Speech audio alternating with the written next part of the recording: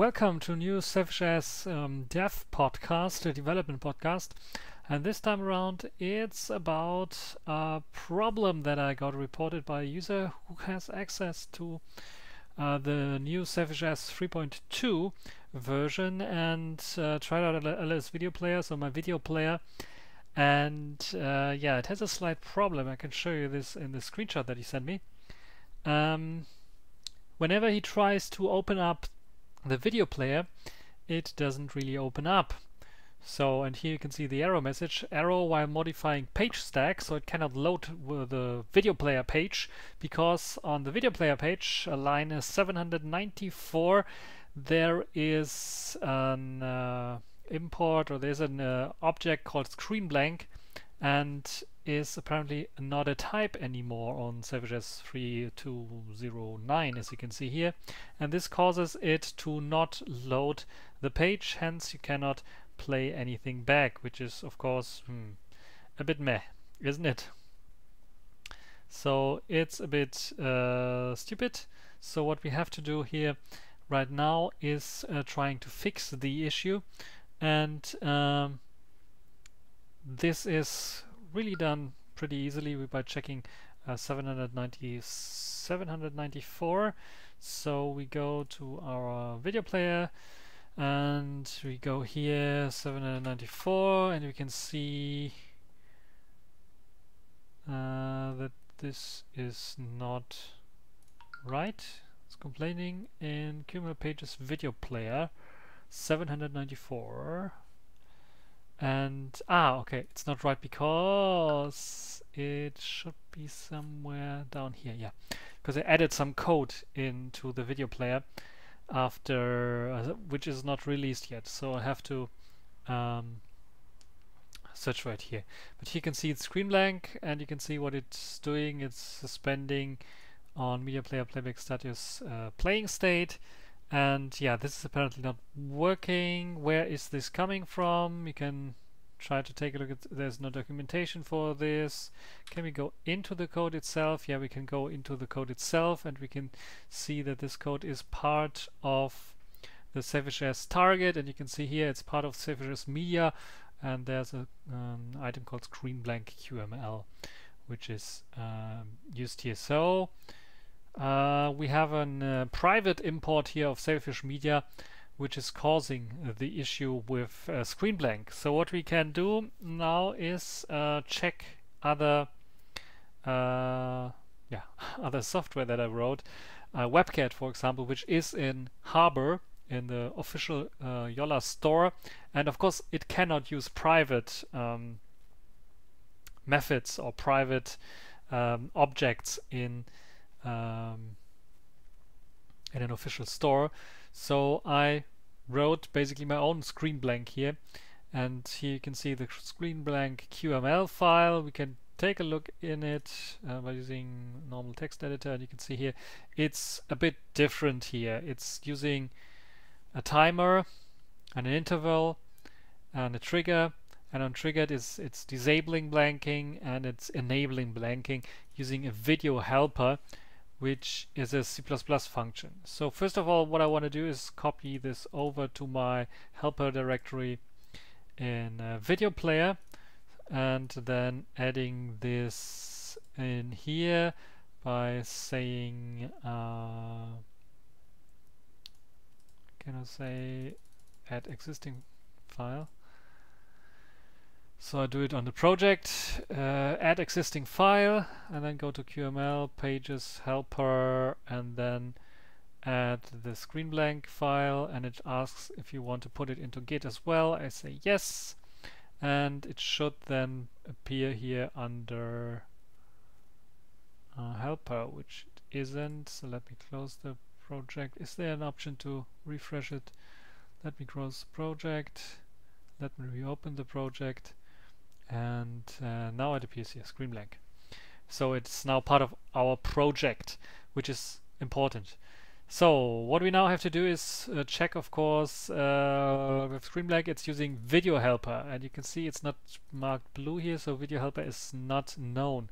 So what we have to do is check our um, C++ file here do we have a video helper function here that we define? No, we have JTDL, we have something.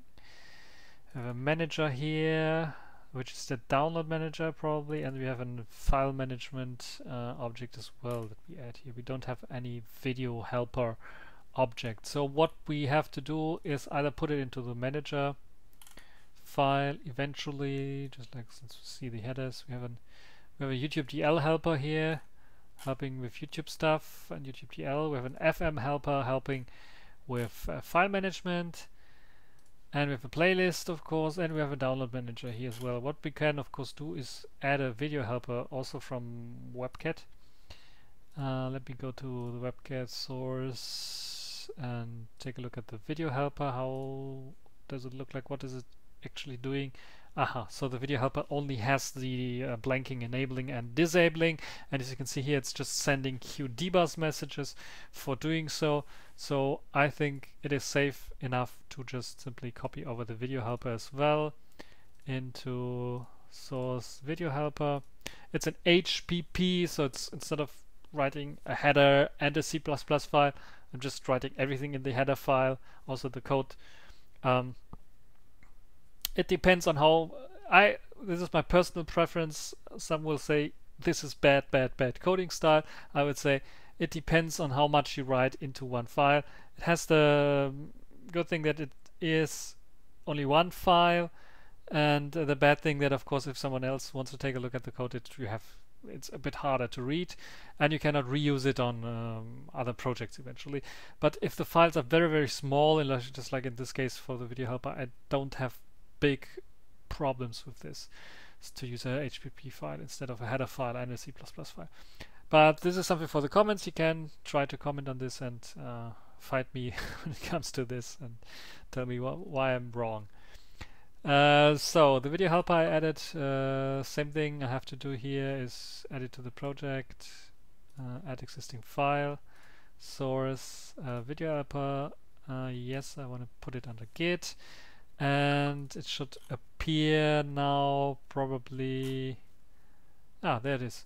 So it appeared now without creating uh, re restarting the the project. And yeah uh, what I have to do of course is add the video helper here to Harbor. Uh, what I can do is uh, of course I can't of course copy it from my uh, Webcat project but I can also show you how this is done here. So first of all include video helper HPP uh, and then I can edit now in this case I will just use the same uh, where is it here? The same um, way like here. Um,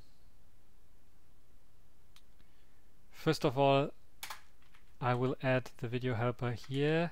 With another uh, it's, it's called video helper I think yeah uh, do we have the screen blank? Yeah, with a big H video helper.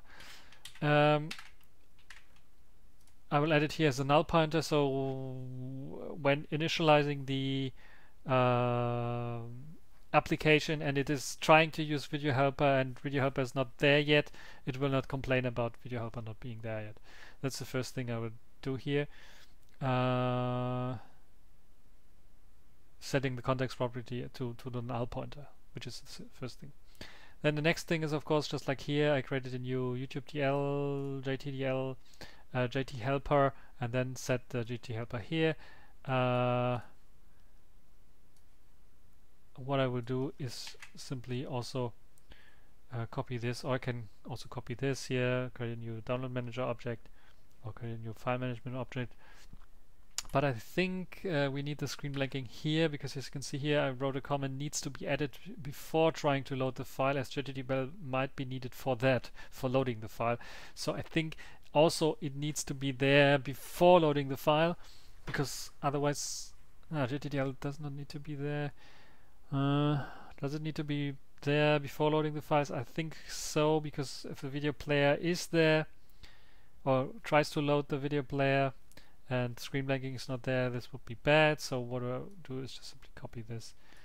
And uh, we'll do the same for video helper just call it video helper oops.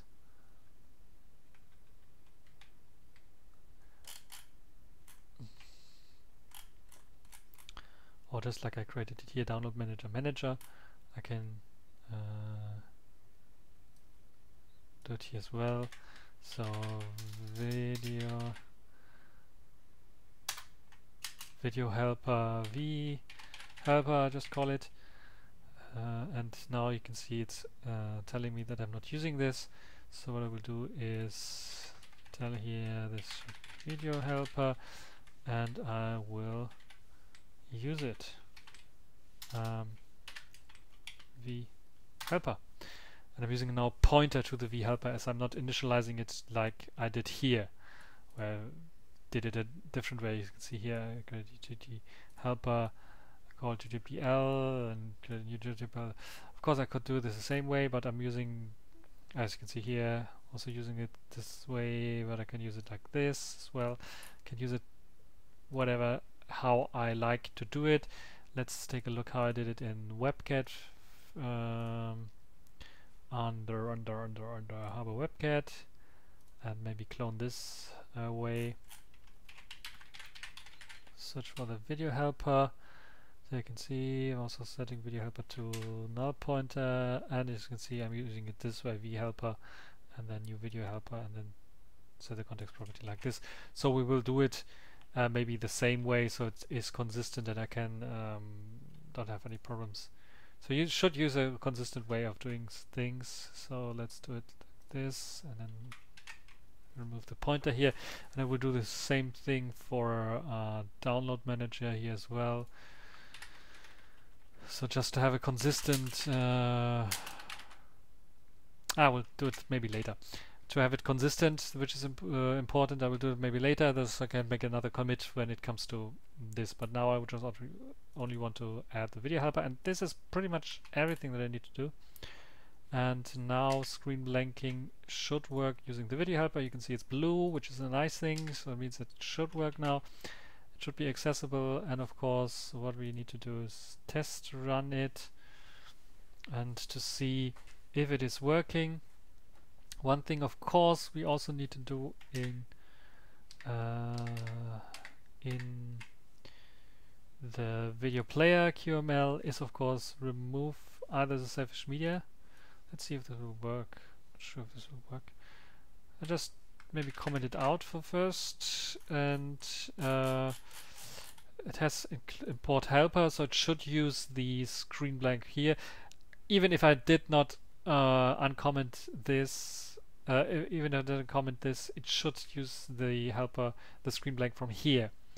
Um, so what I could do is just leave it in but I'm trying to see if it is necessary for anything else. Just to see if, if we can get rid of the Sailfish media stuff in general because it's a private mm, uh, private function or private import. And of course as you can see here it can change in the future and it could break stuff. So just to, to be sure if I'm safe when it comes to things like this so we have the safe emulator here. We want developer mode and uh, let's build and see if it will work out or not. And uh, yeah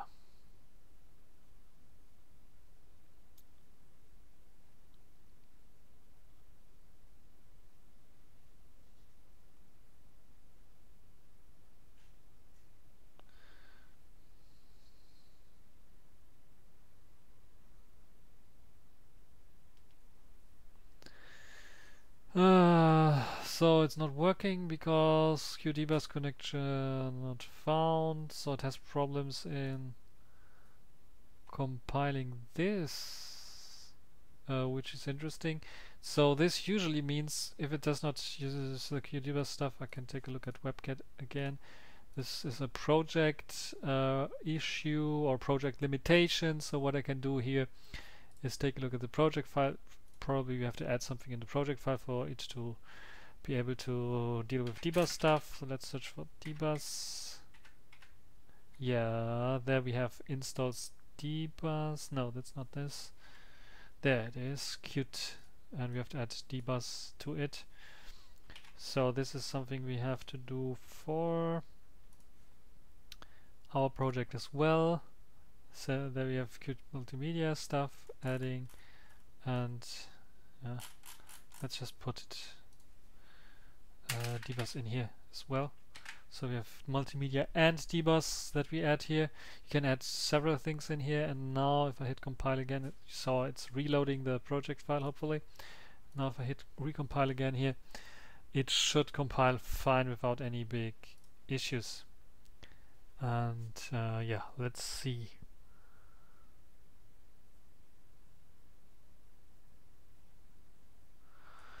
Yeah, it's compiling and yeah, should appear now and we'll see if the Sailfish Media stuff that I commented out is uh, de facto working or not.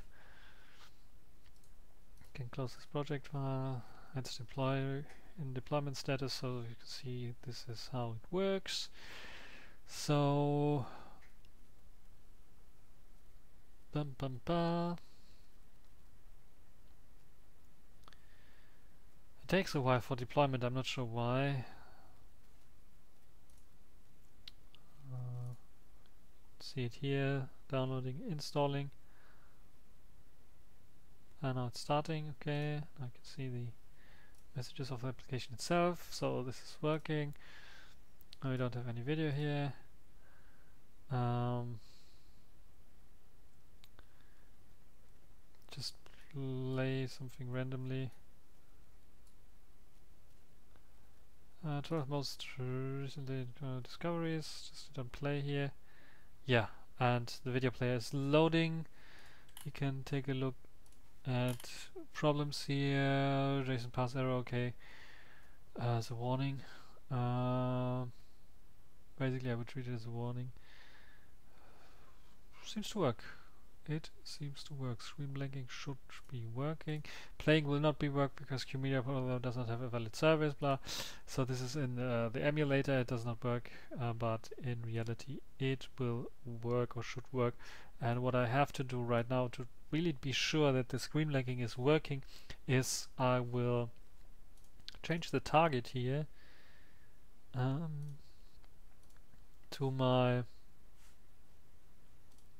uh, Jolla uh, device, Jolla 1 device still, that I still use as my testing device and deploy it to my Jolla 1 device and will check it on my Jolla 1 device just to be sure that this is working and if this is working with screen blanking I will just commit uh, the thing and push a new update out. I think it is necessary to push a new update out anyway. Um, let's see what spec do we have here? 206 the spec file. This is the version that we have here. Let's open up OpenRepos and check my applications and video player and then I can check which was the last version I gave out is 2.05 we can see here just hit minor updates. I think I can do a new version release.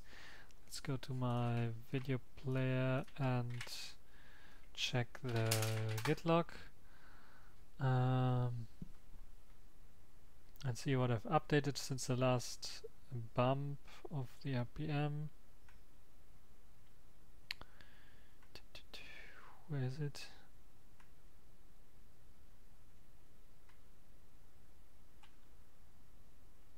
Here bump version. Only scale button if necessary. This is new. Is it really new? Fixed YouTube stuff. Um, yeah.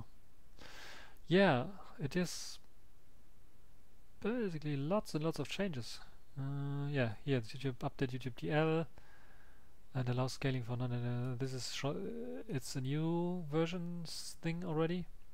Because I only have updated YouTube DL and fixed YouTube getting stream stuff in my latest changelog for 2.05 as you can see here. So I have lots and lots of new features in this video player. So I should maybe do a release after this is fixed. So also then also people can uh, uh, use it on the new when the uh, early access release is coming out they can uh, have Harbor Video Player working without any issues, which is I think also a nice thing. Also nice that someone is reporting this thing who has access to the new version before the, the new release uh, is early access. Usually the early access phase is for finding the bugs, but it's nice. Uh, so if people want to report errors to me about stuff not working anymore, uh, my application is not working anymore on a new version, even if it's not early access version. And it's an easy fix, just like this one here, where you have an error message and you can clearly see what, what the issue is, and it's easy fixable. Fixable. Then I will try, of course, fixing it, and um, yeah, um, I will just in the background test this out, and uh, hope you enjoyed this little demonstration, this little video on how to fix stuff. And as you can see here the import itself Sailfish uh, media import is not necessary anymore because uh, the video is uh, playing fine without it uh, which is I think a nice thing. Or yeah. So I can remove this as well and have a little bit of cleaner code. And then in, in the future hopefully not so much breakage uh, when it comes to this so uh, video is playing fine and I think screen is not blanking out so that's a good thing. It's working.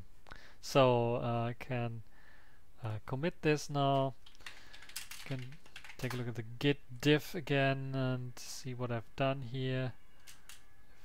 You can see also translation files get updated all the time. Can of course also put the translation off in the project file so it will not translate them all the time but in this case it's necessary just to update the line numbers.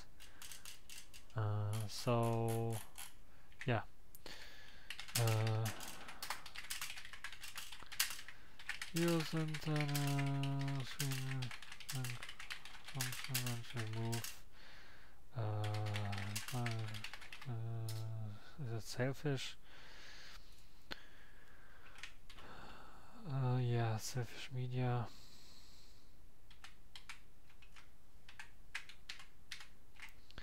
Sailfish Media.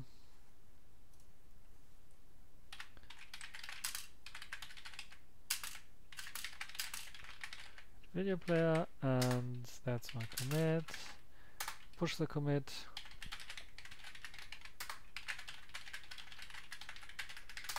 And yeah, that's it for this video. Hope you enjoyed it. Uh, comments, subscribe, like, and until the next time.